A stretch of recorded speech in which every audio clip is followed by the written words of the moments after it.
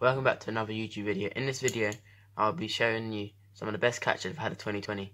Watch to the end so I can tell you what goals I have for the future.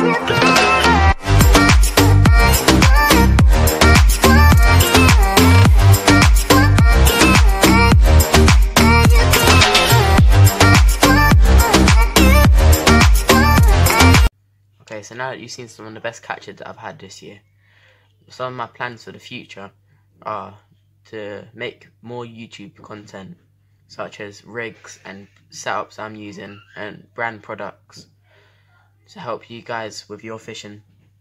Thanks for watching the video, and I'll see you in the next one.